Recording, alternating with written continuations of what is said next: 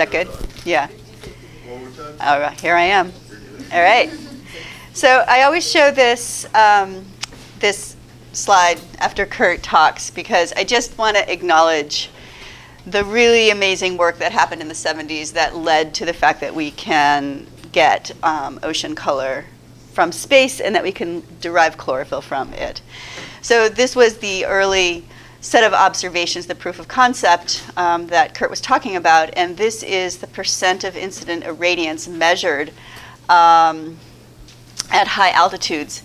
And they were measuring, so as a function of wavelength, so hyperspectral, um, in the 70s. And they measured the percent of incident light at different altitudes. So this would be at 600 feet, and this was 10,000 feet. And so you can see that as you go higher, the signal goes up. And why is that? That's the atmospheric contribution. And so that was the thing that people were thinking was going to get in the way because if you had so much signal coming from the atmosphere, how could you resolve any, you know, the 3% of the signal coming out of the ocean? But they, in fact, used that as a way of developing an atmospheric correction. And then these were, this was the percent of incident light after correction. This is the backscatter, what they call backscattered light measurement. We would call it radiance um, as a function of wavelength. And this was measured at the different places, um, the Sargasso Sea, and um, this is Georges Bank here. And this is, this is the actual measured data that Kurt showed you some model data for, looking at how the slope, uh, the blue-green slope, changes as you increase the chlorophyll concentration from less than 0.1 to 3 milligrams per meter cubed.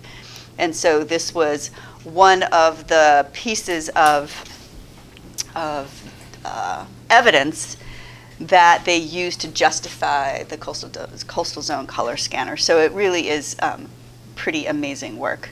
So, um, and I just want to say that, you know, so Carl Lorenzen was the biologist on this project. And this was at a time when you could do really risky science and people were willing to fund you to take a chance on risky science. And these days it's gotten a lot harder. Money's gotten a lot tighter.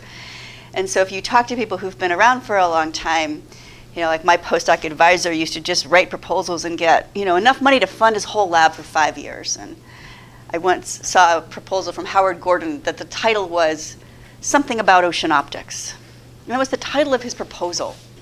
And again, it probably funded him and his whole program for five years. And the thinking was, well, yeah, of course. He's going to do something amazing.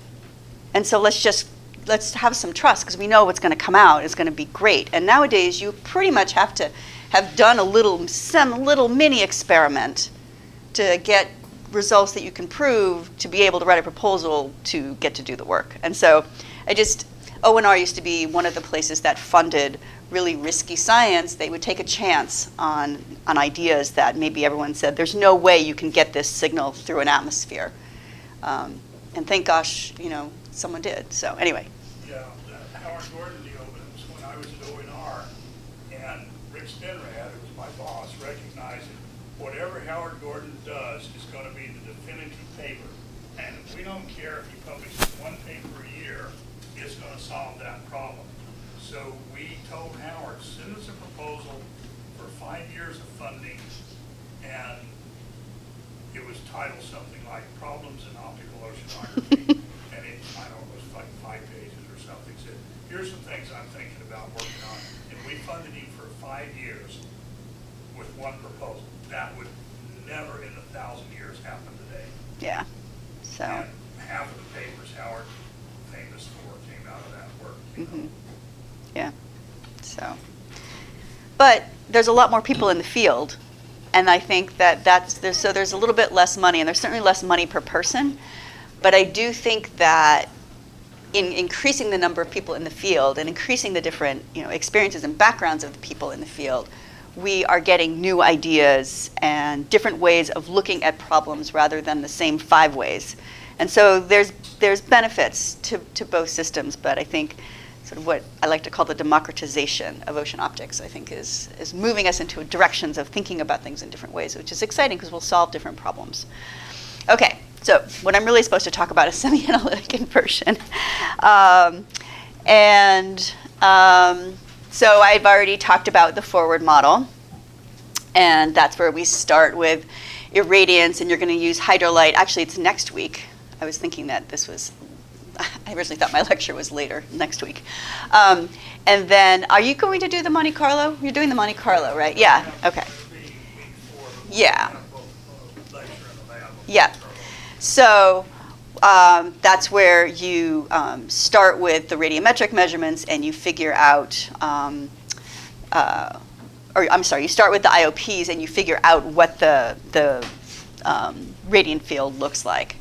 And then this is where we actually look at the tracks or we're measuring the um, apparent optical properties and trying to infer what the optical properties of the water are.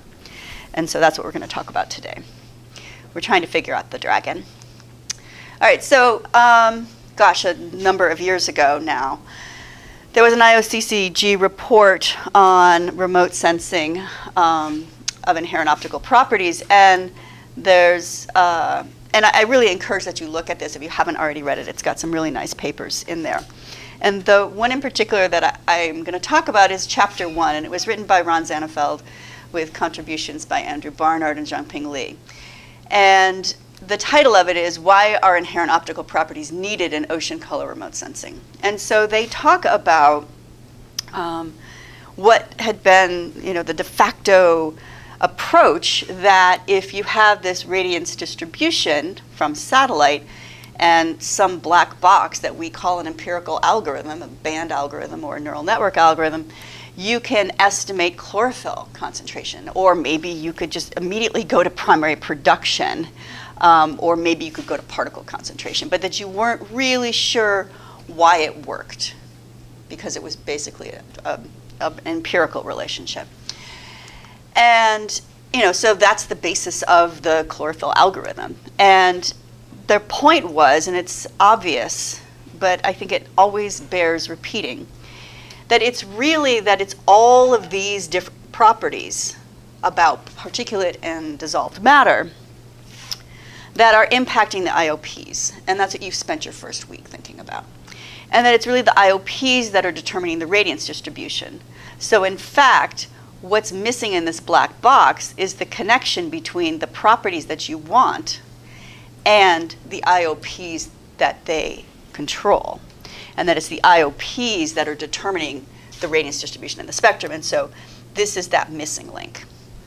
So their point was that um, if you actually kind of go through all the little steps here, that allows you to think about, you know, if your interest happens to be in non-living particulate organic matter, there is some relationship between that material and the radiance distribution that you measure. And what you need to do is find out what those connections are on each of these arrows, and that there's a mechanistic response, there's or a mechanistic relationship beyond just um, uh, a regression.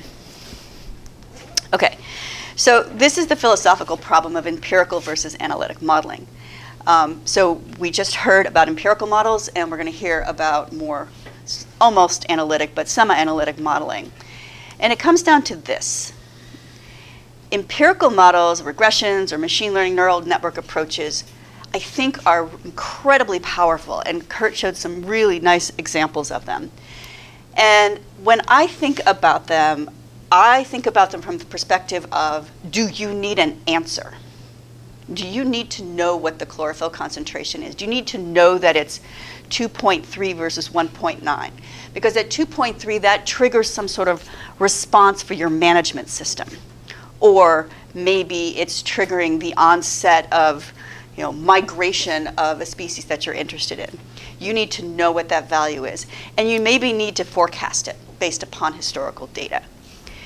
You probably cannot do better than a neural network approach. It's giving you an answer.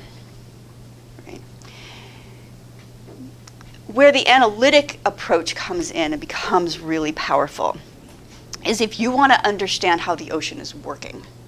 If you want to understand what that underlying mechanism is that made your water red, or green, or a slightly different shade of green today than it was yesterday.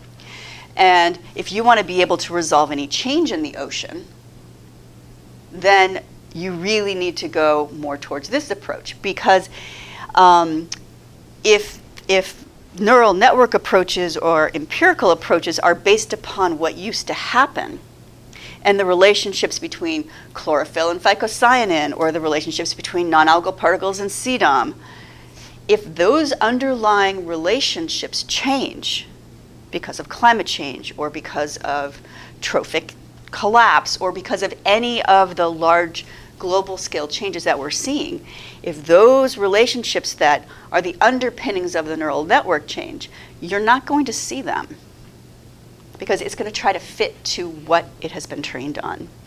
And so, in reality, what we need are both of these approaches. And that's why they're both like moving forward in both realms of empirical and analytic is so important because we need to know an answer, but we also need to recognize that the underpinnings or how, what we understand about the world is changing. Okay.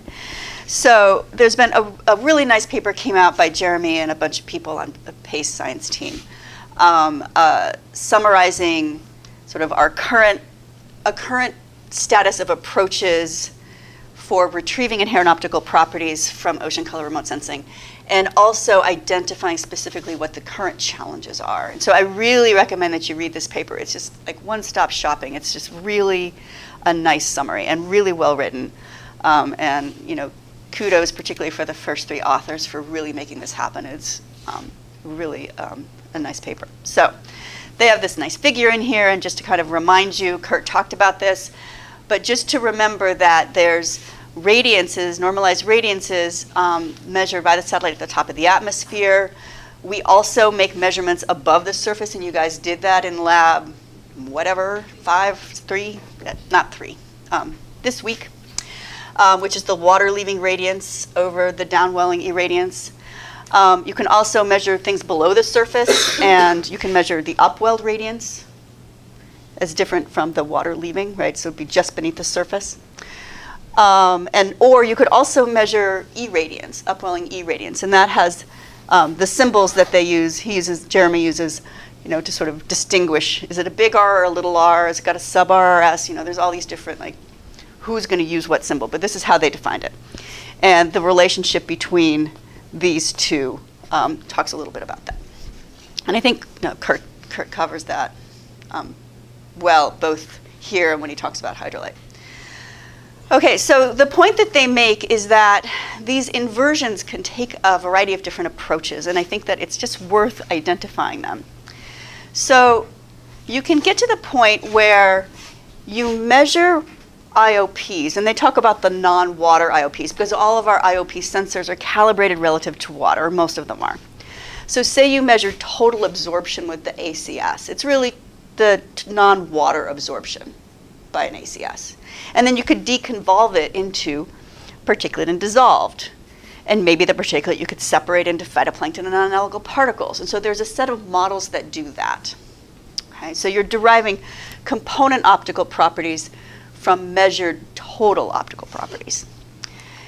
Um, you can also go from the sort of the subsurface um, reflectance, or I'm sorry, the remote sensing reflectance here, and derive the total properties and then use a model to get there, right? Or you could directly derive these without going through the step of getting total backscattering and absorption. You could go right to component absorption. And so there's different models that do that. And then finally, there's the top of the atmosphere radiance, normalized water leaving radiance.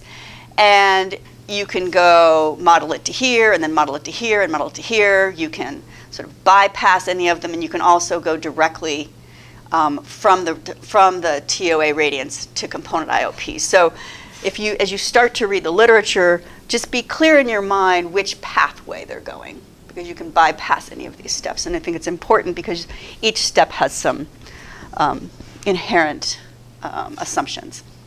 Okay, so let's consider an ocean that is, we're back to our absorbing ocean, the CDOM. And let's think about how, if we're thinking about the water coming out of the ocean and we have a CDOM ocean, what is it that we're going to see when we look over the side of the boat? If it's just CDOM. Hmm? It's black, right? Because CDOM is dissolved and therefore shouldn't have any scattering, right? Um, and if we ignored the fact that water actually has scattering, the ocean would, would, look black, would look black. But if the ocean had blue scattering, what might it look like? Small, you know, Rayleigh scattering. Yeah, so it would be definitely the blue light, which would be preferentially reflected, would be absorbed by the CDOM. So the color that would come out would be probably something shifted much more towards the green, but it would still be pretty dark, right? Good. Um, okay, so now let's think of our scattering ocean, the coccolithophores, um, and how is the reflectance going to depend on the backscattering? If we increase the amount of coccolithophores or we increase the amount of backscattering, what happens? It'll get blue and and yeah, and bright, right? The more stuff we put in the water, the brighter it's going to be. So we just have to think that since we're in some combination, um, that the absorbing material is making it darker, the scattering material is making it brighter, and so that immediately gives us this relationship that the reflectance that we're that we're seeing is going to be somehow proportional to the backscattering over the absorption, right? And so even without any sort of theory, it's back to the, the heuristic model that Kurt's talking about, um, you know, you can really get a lot out, or you can really be predictive if you just really think about what's happening. And so as we increase absorption, it gets lost, it gets darker. As we increase backscattering, it gets brighter. And so we can come up with sort of a mathematical equation of that. Okay, so I'm not going to go through this, but I'm putting it into um, the the file that you get. But it's basically the evolution of the single scattering albedo that Kurt talked about, the quasi-single scattering, and why we end up with this equation where, where reflectance is proportional to backscattering over absorption plus backscattering. So you can look at that and um, kind of merge it with the sort of more higher level theory um, that Kurt has presented as well. Okay. So so we know that with remote sensing reflectance, it's the ratio of the upwelling radiance over the downwelling irradiance, and it has units of steradians. And from Howard's, um, Gordon's uh, work, we know that um, you can express that measured quantity um, as the sum of two terms where you have two um, coefficients multiplied by this term u, which is the backscattering over the absorption plus backscattering. And so what it means is that you're going to have this term to the first power multiplied by g1 plus this term squared multiplied by g2. And typically, the values of G1 and G2 are spectrally independent. Um, whether that's actually true, um, this is a, an approximation. Um, and often they ignore that second term. So people have gone and looked at what happens if you include the term, when can you include that squared term, and when can you ignore it. But recognize that most people just use the first term, and they use this as the multiplier. And so you notice that these all have units of per meter. And if this has units of per steradian, then this term has to have a unit of per steradian. So that tells you something about this term it's got some dependence on angle. And so that is the term that we call F over Q. And you talked about, did you talk about F over Q? About what? F over Q? Uh, Ken did, yeah, A little bit. Are we returning to it? Um, Yes, I the answer is yes. It, uh, in any detail. It's a standard output from Hydrolight. We can see it there. Okay. Please do. Just it's a reminder to you because I don't want to talk about it. Okay. All right. So questions. Do we have any questions? Well, if um, there's an increase in your ocean in the number of heterotrophic bacteria, what is going to happen to the reflectance? Just a question to get you, make sure you're breathing. Less backscatter because they eat stuff and it turns into dissolved stuff? So there's a process that, that they might be changing the material that's already there. So if they're moving, they, yeah, they tend to eat dissolved stuff. They also can latch on. But what do they personally do in, optically? So they're heterotrophic. So how big are they? Very small. What's their absorption spectrum look like?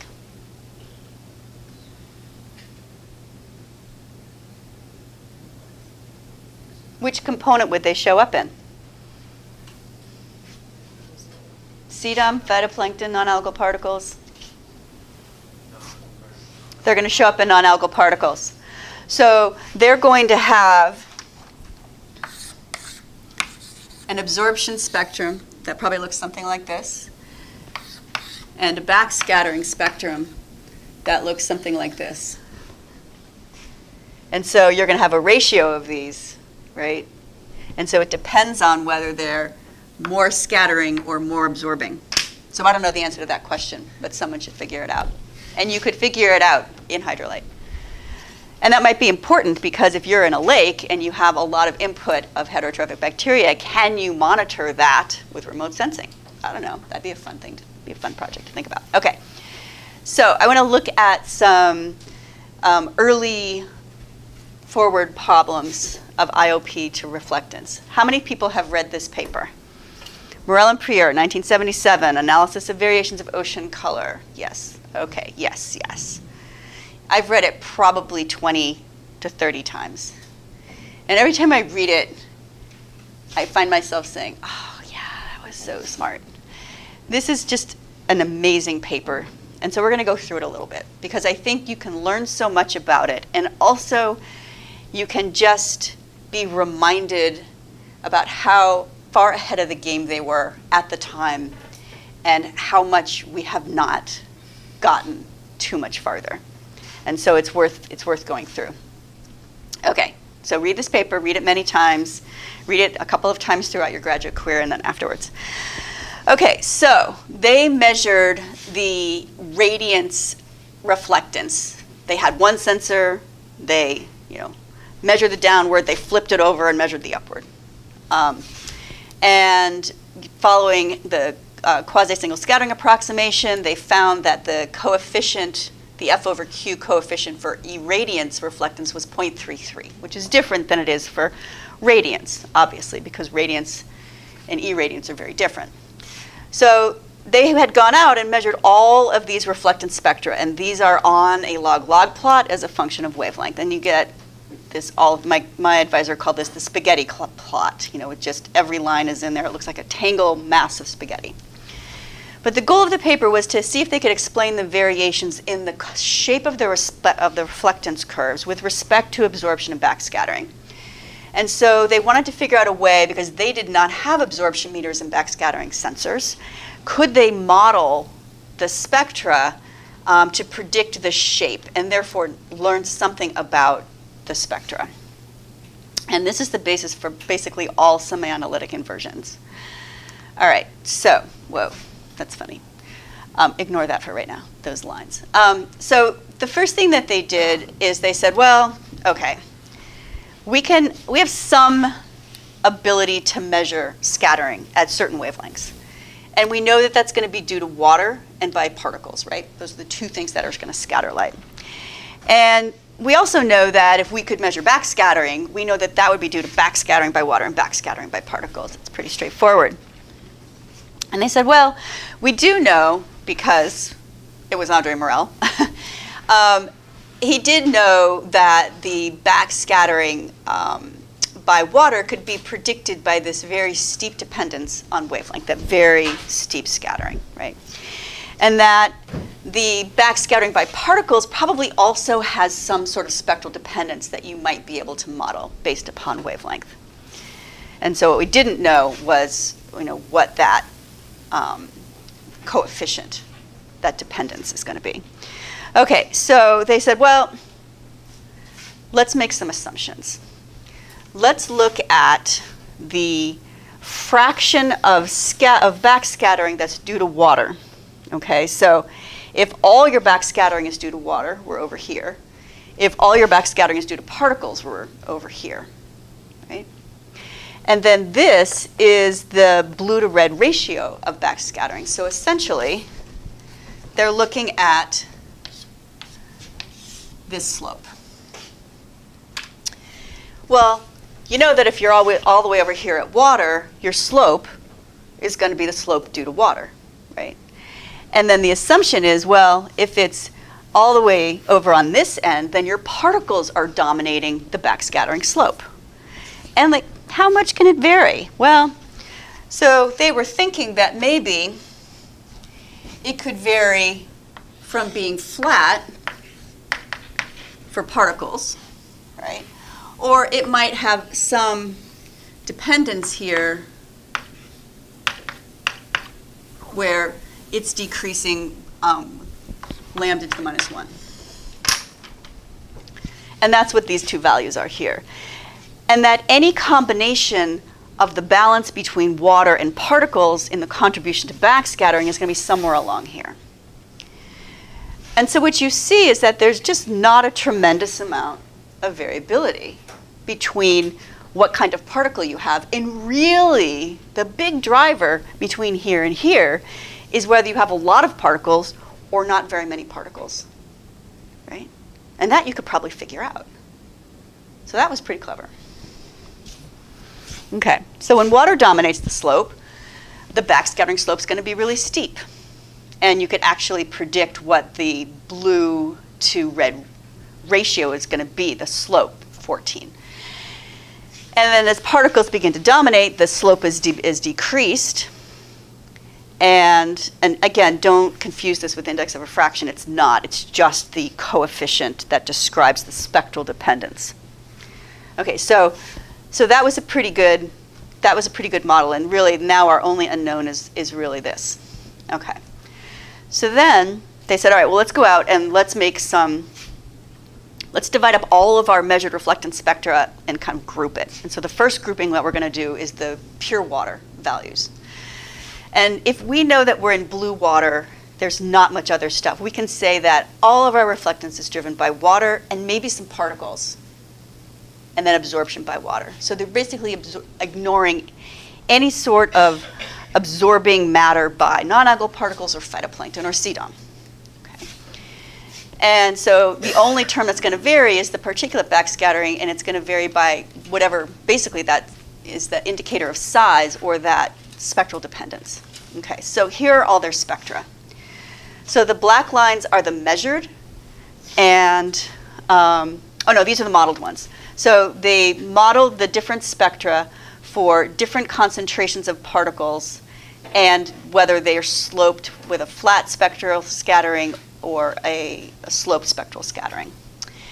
And then they took these modeled spectra and they applied it to Crater Lake and the Sargasso Sea, where you have really, really blue waters. And so they found that their conditions, T3 and T4, did a really nice job in predicting the shape of the curve that they measured, which was great. And all you needed were these, all, basically, all you needed was this. and so um, that was pretty amazing to be able to get that forward model. And, and basically say that in clear waters, you can predict most of the spectral variability due to water and particulate scattering. So that, and, and they call that their case one. Then they said, okay, well, let's look at green waters. We're going to call those the different case. We're going to call that case two. This is the first description of case one and case two waters. And that has been blown into this whole like are you a case one or are you a case two? You know and what's the definition of case one and what's the definition of case two? Go back and read their definitions. You see all this other stuff about case one and case two but the original um, definition was like well we could model it with just water. We could had to add some chlorophyll to it. Okay. So they had two types of case two waters. One is the v type and that's what they called chlorophyll dominated. And they called it V because it was really an upside down V in terms of the shape of the spectrum. And they said, okay, well, now we've got to add phytoplankton into our absorption part of the thing. And we're going to model phytoplankton as a function of chlorophyll. And in fact, probably most of the particles that are in there are phytoplankton or related to phytoplankton. So we can model the particulate scattering also as a function of chlorophyll. And they came up with some relationships for that. Um, and so they modeled these spectra and they said, okay, when chlorophyll's really low, I'm going to have a spectrum that looks like this. And when chlorophyll's really high, I'm going to get a V here and I get a big V here. So it's kind of the double V, but not a W. Okay. So, and, and so they could, they could actually compare that to their measurements and, and do a really good job of modeling their sort of V-type uh, spectra, just again, having a chlorophyll-based model for phytoplankton absorption and particle scattering. Their other type of green waters was this U type. And you notice that it's much more, much more curved in the shape. And these were waters that they knew were really sediment laden. And they said, okay, well, we'll probably still have phytoplankton in these waters. Um, and we're still going to model our phytoplankton as a function of chlorophyll. But now, probably our particles are not well predicted by the chlorophyll concentration, nor um, is the absorption by these particles. These particles are now going to be absorbing particles. And so this is where you come up with you have constituents in your water that don't covary with chlorophyll. So it's a case 2 water, but it's a U-type case 2 water, which is very different from the case 2 water where everything varies with chlorophyll. So now if you start thinking about reading papers where they describe case one and case two, really the V type and the case one type are what we now call case one because it's clear waters where that where you know there's either no phytoplankton it's just water or it's water where all the optical properties can co-vary with chlorophyll. And these are the ones where they don't. Okay yeah. That's reflectance so they're presenting reflectance because it's EU over ED. They're presenting it as a percentage. So this is 0.1. It's very bright water. Um, but it's a log scale. So now they were modeling spectra by increasing chlorophyll and also increasing particles, and you could get really bright waters. Um, and in this case, um, the shape of the curve, again on a log scale, depends on how much chlorophyll you have in the water. All right. So that's great. So then um, they modeled a variety of different cases where now the black line is the observed and the dotted line is the measured. And they're basically using this equation to forward model the reflectance. And they are assuming um, they assuming a backscattering ratio here for particles. It's flat, and we'll talk a little bit about that. And then they just they just adjusted their scattering to match the reflectance at 550, and then the rest of the spectrum um, in this equation ended up matching the reflectance. And so if you look at this, their absorption is water, a specific spectrum of absorption for phytoplankton multiplied by chlorophyll and phaeophytin, some particulate absorption, probably non-algal particle and CDOM mixed together, but multiplied by some, some fraction of scattering. So the more scattering you had, the more particulate absorption you had. And then the backscattering is really just the backscattering ratio times the particulate scattering, and you add that to water.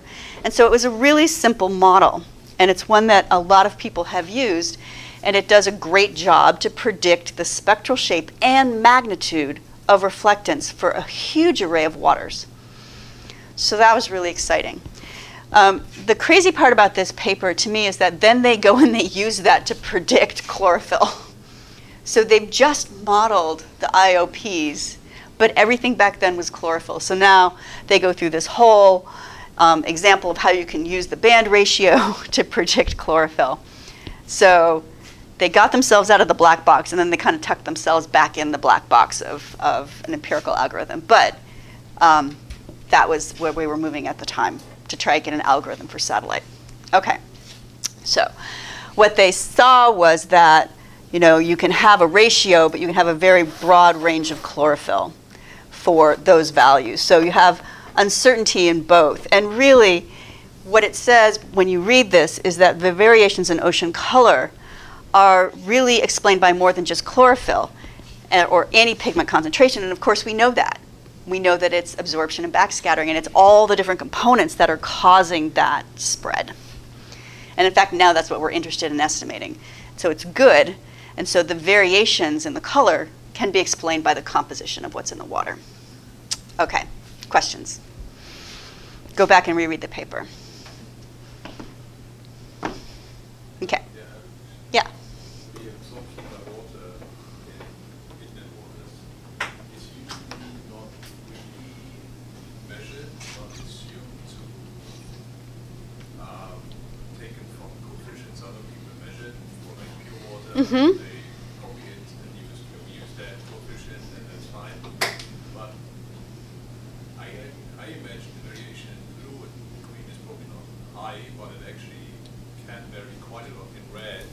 That probably can be quite influenced by what is in the water. Mhm. And all of these different lake types you can have, and sediments and not sediments. So Yep. Is it worth it revisiting some absorption by water? now? So I'm not certain what your question is. Is your question, do we not know what the absorption by pure water is? Or the absorption by non-pure water, the absorption by, yeah, it's probably not right. So you just mean absorption. But yeah, the absorption by water in these types, Because they have other constituents. Right. And so the question, I mean, really the question that you're asking is how well do we know what CDOM absorption is and phytoplankton absorption and the non-algal particle absorption is?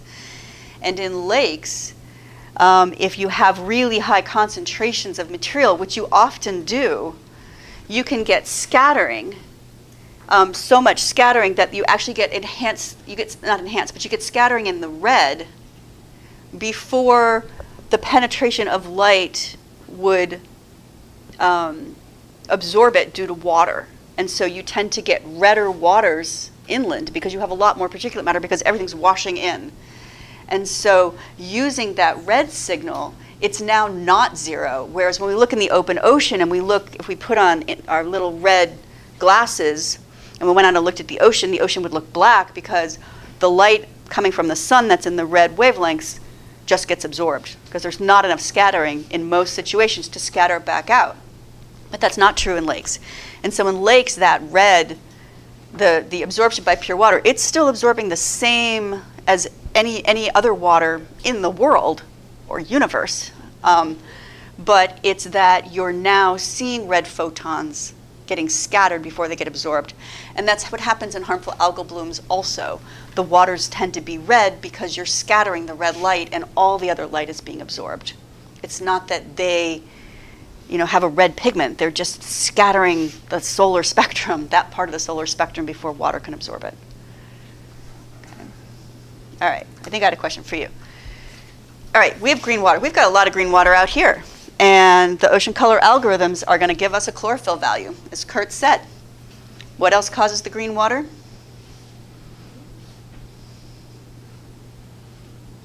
CDOM.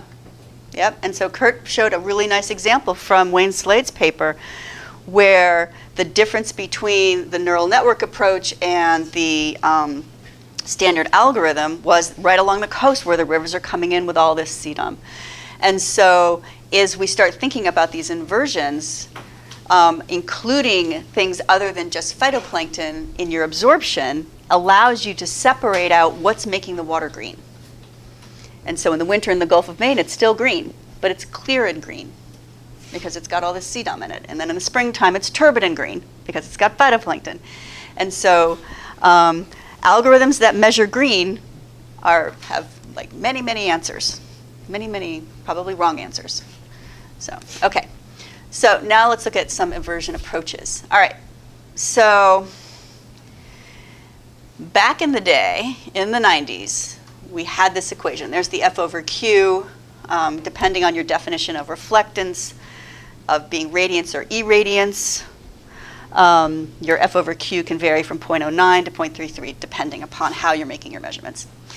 But it turns out there was this sort of focus point in time when everybody started thinking about, like, oh, we could invert this, right? And so, like, five papers all got published in about three years. And this was right when I was finishing my PhD, or this was my PhD. And they all basically came out at the same time, and they all basically said the same thing, and none of the people had talked to each other.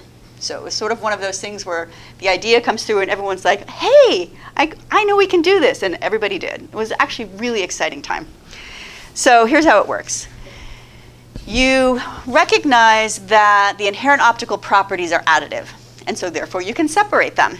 And so you can separate your absorption and you can separate your backscattering, and you now could measure spectra associated with each one of these.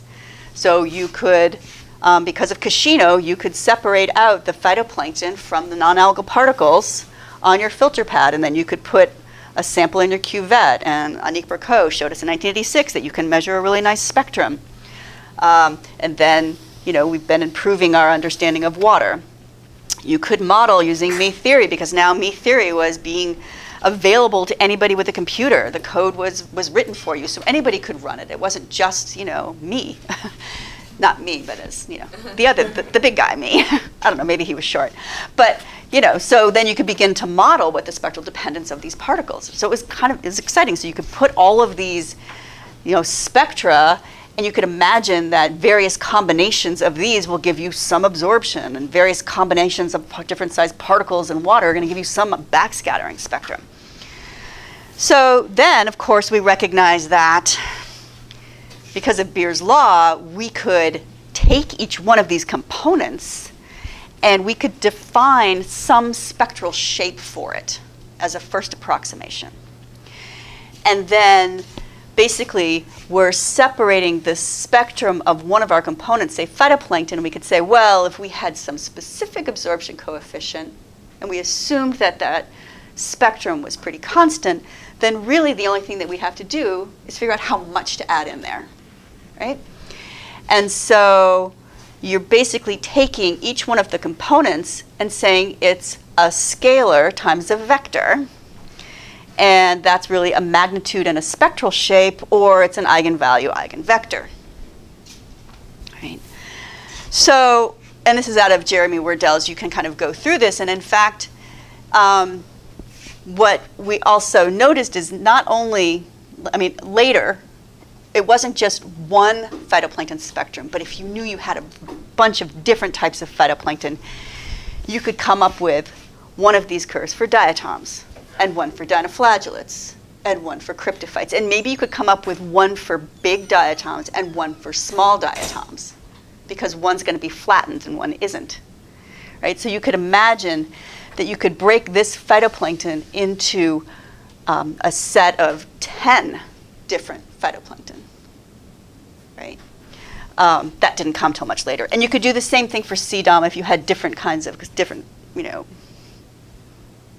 tannins or proteins or different types of CDOM and also potentially different kinds of non-algal particles, living versus dead non-algal particles. So, you know, you can really expand this out um, depending upon how many wavelengths you have. And so this is where we're heading with hyperspectral is that we can do a lot better here. And I'm going to show you an example of looking at multiple different phytoplankton spectra and also maybe even breaking it into pigments you could just begin to put different pigments in there. So it gets kind of exciting. Anyway, you put it all together, and you end up with backscattering over absorption plus backscattering. So there's backscattering over absorption plus backscattering. And we're going to assume that we know, oh, that should be BBW, sorry. How many times have I looked at this? Um, that is, these are known, the water optical properties. The eigenvectors are some spectrum that we're going to identify the shape of, right? And what's the shape of non-algal particle absorption? Yep, the universal symbol for exponential. CDOM absorption, a little bit steeper, right? Um, phytoplankton, yep, perfect. Yeah, so you guys are there. um, and so you know, again, if you wanted to use sums of them, you would just have different phytoplankton. So maybe, you know, one smaller and whatever. You'd have different spectra. Um, different slopes of CDOM, things like that. Okay. So, so now what we have to do is we have to define these spectra. So we have to come, we have to nail it down, come up with a shape that we're happy with. And then um, you make a measurement, which you guys have done. So you guys have done this, and you've done this, and you've done this, and you've done this, and you've done this. Right? You've made spectra. You've come up with, you could come up with some characteristic spectra for the samples that you've done in labs, right? And you've done this with the HyperPro? So if you have a characteristic spectrum for each one of these, and you have a measurement of reflectance, you can estimate the magnitude of each one of these by regression, by, a, by some sort of you know, minimization, some cost function. And then once you've estimated how much phytoplankton and how much non-algal particle and how much particle backscattering you need to put together in B back over A plus B back, you end up with a reflectance spectrum. And then you compare it to the one you measured. Because there's going to be some error, even in a least squares sense, right? So it looks like this. You measure reflectance spectrum, and then you say, all right, well, this is what water backscattering looks like. This is what the particle backscattering looks like. Emmanuel measured a billion of these over on the Tara missions and found that the slope is about, what, 0.7? 0.8. Yeah, so it's got some spectral dependence over the globe. I'm going to use that shape. And I've got, you know, I measured this in 1989. Why don't I should just keep using it, right? It's fine. Um, CDOM and non-algal particle. And then you're just adjusting those to reconstruct that. And in fact, I'm going to have you do that this afternoon by hand, right? And you'll, be, you'll look at this and be like, well, I've got some phytoplankton in there because there's a nice dip at 440. So I have to have phytoplankton absorption, right? So you can just start adding little bits in. Okay, so, oh yeah, and sometimes people ignore the backscattering down here. Okay, so all these papers that came out were basically all doing the same thing. The differences between them are in how they define the eigenvectors or those spectral shapes that you're putting into the model. What was the shape of their phytoplankton absorption? How steep was the spectral slope of their CDOM? Um, those are the big differences between them. And so, for example, the phytoplankton ones are really different. So this was the spectrum that I used that I had measured. It was an average of a bunch of samples from Puget Sound from when I took the class in 1989. That was my project. um, this is, uh, these are the spectra that Lee uses in QAA. And he uses, basically he has a mathematical function that defines these two Gaussians separated by a line. And he's got like high and low, for high and low concentrations.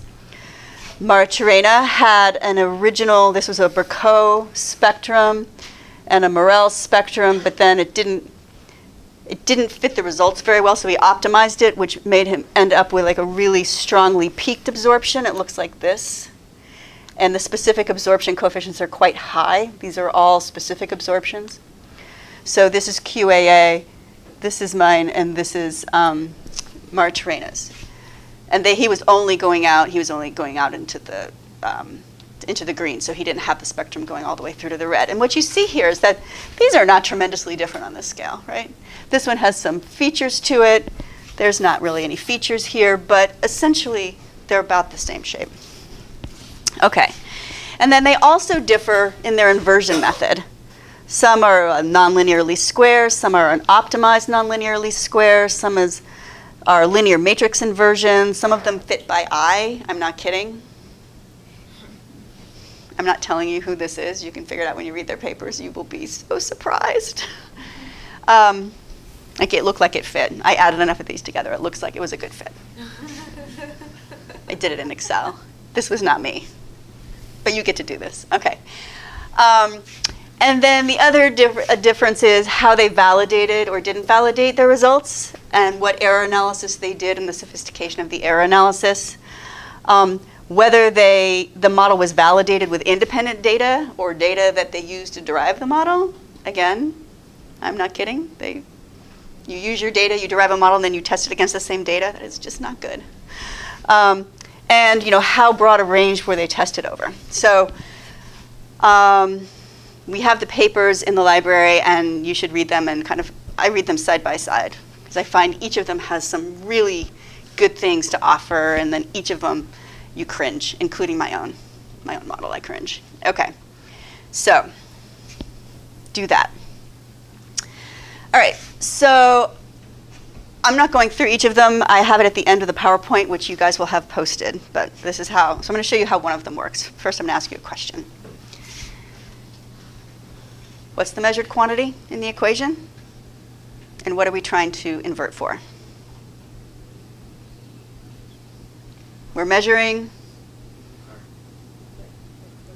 R, right? And we're inverting to get A and B. Everybody's very sleepy today. That's why I keep putting these in, just to make sure you're like right with me. All right, so here's an example of one of the early models. It's mine, because it's the one I know the best. All right, so the eigenvectors that I used, this is the water. It's constant. I modeled with two different size particles, a large one, which has spectral independence. Basically, it says that QB, B is 2. No, it's not 2, but it's as if the particle were large and independent of wavelength. Smaller particles, I think I modeled with a lambda to the minus 1. Now, the interesting thing is, is that when you end up with estimates of both of them, if you add them together, it allows you to get any sort of spectral dependence, right? It could solve for a lot of this one and a little bit of this one, so you could maybe get minus 0.75, right? So it allows for a range of spectral dependence in the backscattering without explicitly solving for this, which turns out to be kind of tough to do. It, it ends up being not well posed in the inversion. And then I said, okay, well, as a first guess, I'm going to combine these two because the difference in spectral shape due to this compared to an exponential and so I came up with some average. Later, I kept them separated with different slopes, but again, you can, you can make modifications there. These were the reflectance spectra that I measured. I got to go on four cruises. My first cruise was the Gulf of Maine, which these spectra over here, and I just came back to the Gulf of Maine. It's kind of interesting. I just, my first research cruise with my advisor. Um, and all the rest were West Coast.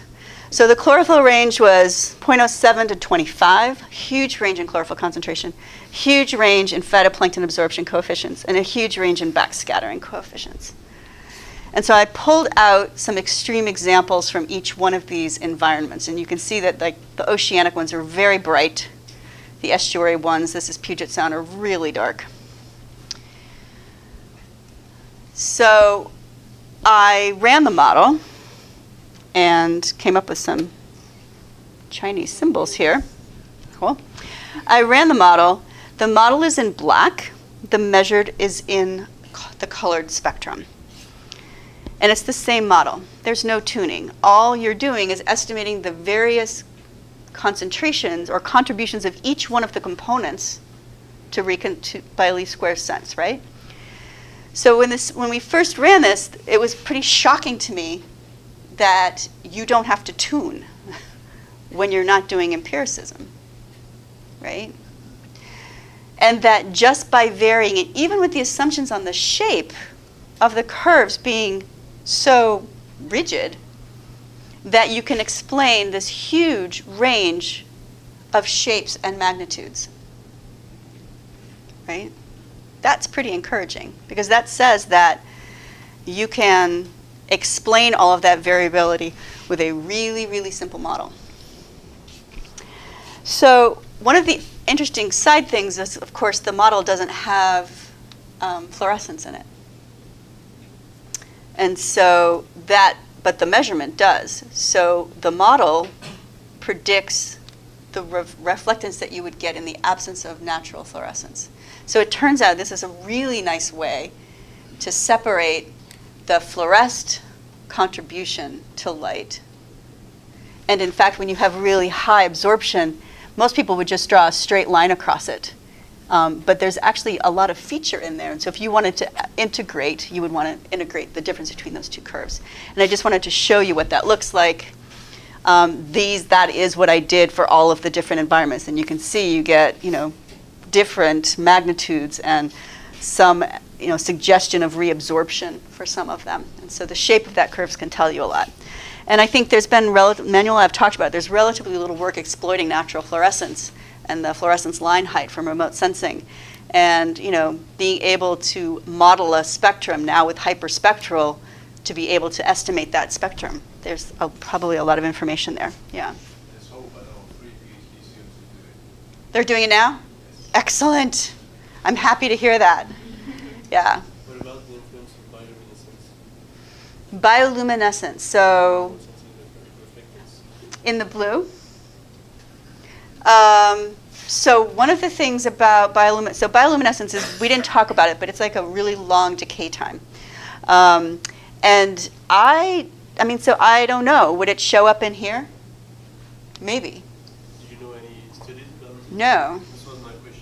I don't know anyone who's doing it, and I don't know whether the signal is strong enough. It's certainly strong enough at night when there's no other light and you see it, so it's stimulated by a chemical reaction. But I don't know. Ken, do you know? No, but I don't think you ever see the Not in the daytime. Iowa and all that. I know they never they never published anything really. I mean, they pub about the bioluminescence and during the daytime during the daytime. Yeah. There's a lot of work in bioluminescence. because submarines would light up. Right, it was funded by the Navy, and so they needed to know that. But during the day, I don't know if you'd see it. You could model it. Yeah, you can include bioluminescence and Hydrolight. Yeah. We're not gonna bother with it in here, but yeah, it can be done. Yeah. Okay. Cool. Actually, um, I think, um, this advisory, that in the class they were project about bioluminescence, and I ended up publishing the Aries advisor, Oliver. When he took the class, he did a project on bioluminescence. He did? Yes, and, and how, how deeply you propagate if you have a diver, uh, what could be the. What did he find? Detection level, and then he ended up publishing. I think he said you could like, yeah, I don't know if it was from space or something, but. Or from somebody above water. It was like, talk about target and.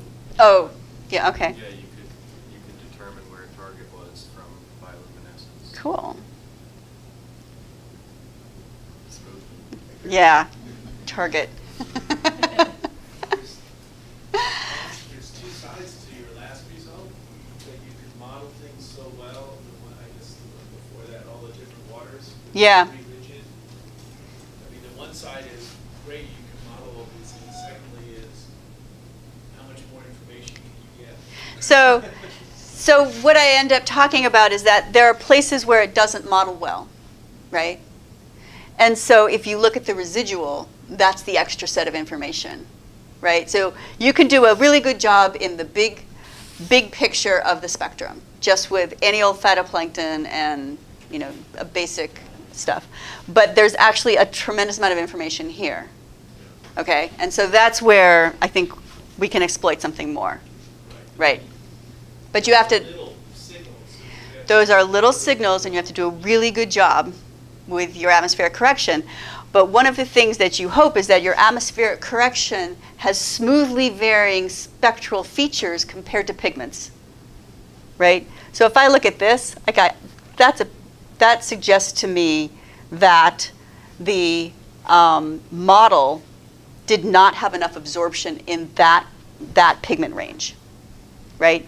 This one is sort of the difference between those two looks exponential to me. So it could be backscattering or CDOM, that the model did not have quite the right basis vector.